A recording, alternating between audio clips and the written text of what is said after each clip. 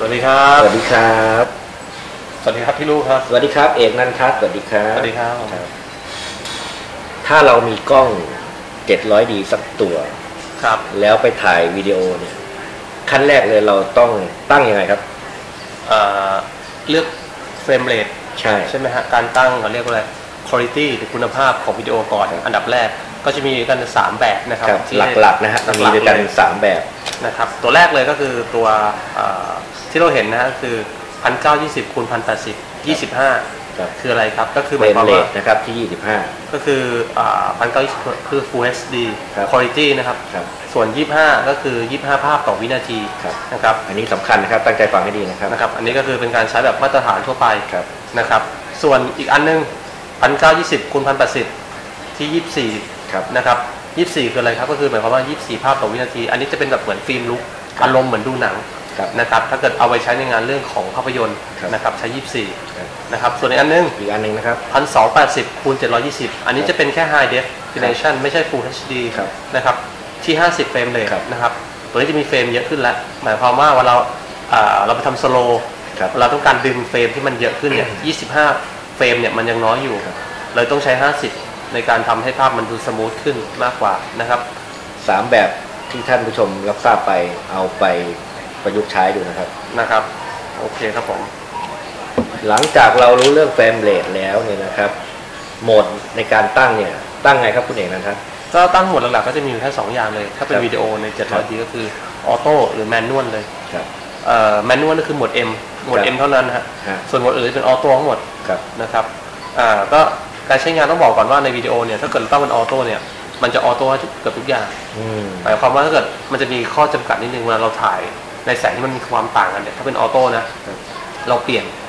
เราจะเห็นการเปลี่ยนของของตัววิดีโออัตโนมัติเลยแสงมันจะเปลี่ยนเองครับนะครับ อันนี้อาจจะ control ค่อนข้างยากนะครับอ๋อมันมีผลตรงมันจะนี้มีผลในเรื่องบางทีเราถ่ายแสงไฟมันฟลูออเรสเซนต์ครับกับทังสเตนเนี่ยหันจากขวามาซ้ายเนี่ยบางทีแสงก็เปลี่ยนได้เพราะมันมันเป็น auto ไงใช่ไหมฮะอันนี้ก็จะมีข้อจำกัด แต่ถ้าเกิดข้อดีคือมันใช้งานง่าย มีผลคือภาพยนตร์เรื่องนั้นที่เราถ่ายทำเนี่ยแสงมันจะเปลี่ยนแสงมันจะเปลี่ยนครับแล้วถ้าเกิดใช้ manual เนี่ยเราเอ่อตั้งค่าคงที่ไปเลยให้ดูสเกลวัดแสงเอานะครับ ก็คือเราเปิดมานะครับแล้วก็มันก็คืออะเรากด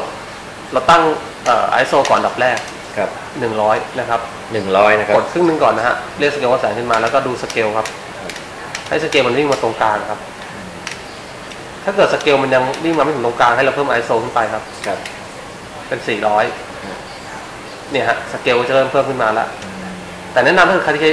25 frame rate นะฮะ ครับ พยายามใช้เอ่อชัตเตอร์ที่คูณ 2 ของตัว frame rate เข้าไว้อืมเช่น 25 ก็เป็น 50 นะครับครับ เนี่ยฮะเราก็จะได้ละ ก็คือให้ดูสเกลวัดแสงตรงกลางไว้ครับนะครับเอ่อปรับ ISO ก่อน แล้วก็ปรับสเกลวัดแสงให้อยู่ตรงกลางนะครับ ได้ชัตเตอร์ที่ต้องการแล้วนะครับ แต่ถ้าเกิดแสงยังไม่พอดีก็ให้เพิ่ม ISO เอาเพิ่มเติมขึ้นอีก ได้พอดีแล้วแล้วก็ถ่ายได้เลยนะครับกด record ได้เลยนะครับตัวนี้อ่าส่วนอีกอันหนึงก็คือเรื่องของ memory card ครับ การถ่ายวิดีโอนะครับ ตัวนี้มันจะมี limit ของมันอยู่นะครับ